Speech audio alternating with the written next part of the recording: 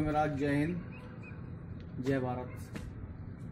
आशा करता हूँ कि मैं आप सभी इस लॉकडाउन का पूरा पूरा ध्यान रख रहे होंगे, अपने स्वास्थ्य का पूरा ध्यान रख रहे होंगे। तो इसी के अंतर्गत मैं आज आपको एक टेस्ट सायुक्ति जो टेस्ट है, उसके बारे में जो उसका टेस्ट प्रोसीजर है, मैं आपको बताऊँगा करके। उसमें तीन स्टेशन है, ठीक है? टेस्ट के अंदर इसमें थ्री बैटरीज रखी गई हैं।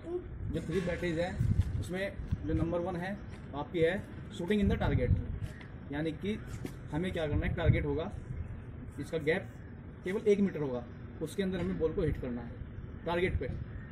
ठीक है, दूसरा इसमें होता है, दूसरा इसके अंदर है balancing the ball on the stick यानी कि जो हमारी बॉल है, ये हमारी बॉल है, इसको क्या करना है, इस ब्लेड के ऊपर हॉकी के इसको ब्लेड बोलते हैं, इस ब्लेड के ऊपर क्या करता है इसको बैलेंस बना के रखना है।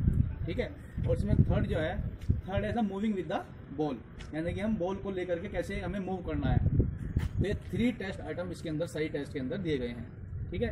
मैं आपको केवल आज इनका टेस्ट प्रोसीजर जो है, ये इसको बोल जैसे कि मैंने आपको बताया था, पहला जो टेस्ट आइटम है, वो है शूटिंग इन द टारगेट ये ये मैं आपको बताता हूँ, ये मेरा क्या है? ये शूटिंग पॉइंट है यहाँ से।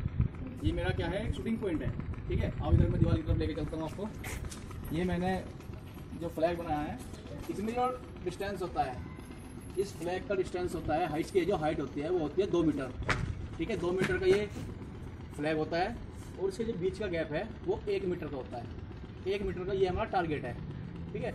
और जो हमारा इस टारगेट से, इन दोनों फ्लैग से इन दोनों फ्लैग से, और जो ये यहाँ पे मेरा टारगेट है, जहाँ से मुझे टारगेट हिट करनी है, यहाँ का डिस्टेंस 10 मीटर होता है।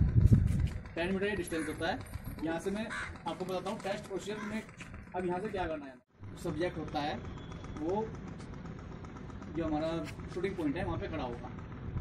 और सब्जेक्ट को क्या करना है, उसको यहाँ पे दस बॉल मिलेंगे। हमारे पास यहाँ पे टेन बॉल होगी, और उन टेन बॉल को लगातार कंटिन्यू क्या करना है, आपका जो टारगेट है आपका, उस पर बॉल को हिट करना है। हिट के द्वारा। जैसे कि मैं आपको करके दिखा रहा हूँ।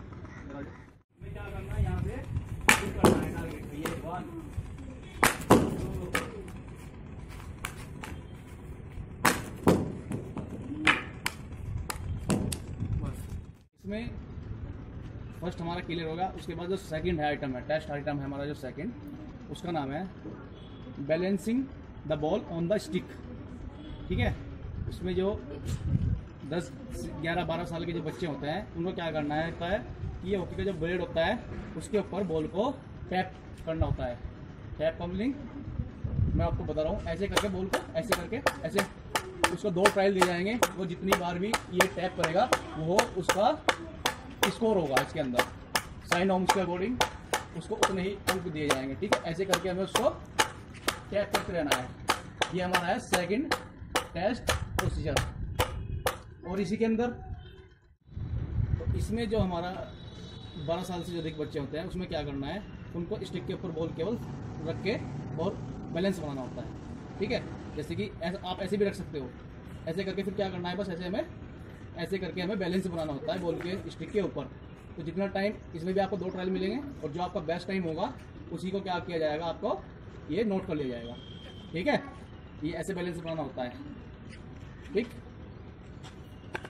ओके थर्ड टेस्ट आइटम इसके अंदर है आपका मूविंग विद द बॉल यानी कि हमें क्या करना है? बॉल के साथ मूव करना है। लेकिन मूव करते समय मूव करते समय क्या करना है कि जो हॉकी का जो ब्लेड होता है ये हॉकी का ब्लेड है बॉल जो है इससे चिपकी रहेगी। बॉल को हटाना नहीं है। ठीक है? इसमें जो टेस्ट एरिया होता है, वो 20 मीटर का आपकी दो हॉरिजॉन्टल लाइन डाल दी जाएँगी। उस उसका जो डिस्टेंस होगा वो 20 मीटर का होगा। ठीक है? बॉल कैसे लेके चलते हैं, वो मैं आपको बता रहा हूँ बॉल ऐसे चिपकी रहेगी आपकी प्लेयर से अंदर जिसके सामने ऐसे करके बॉल को लेके चलना है। ठीक है? ऐसे करके ही हमें बॉल स्टिक से चिपकी रहेगी।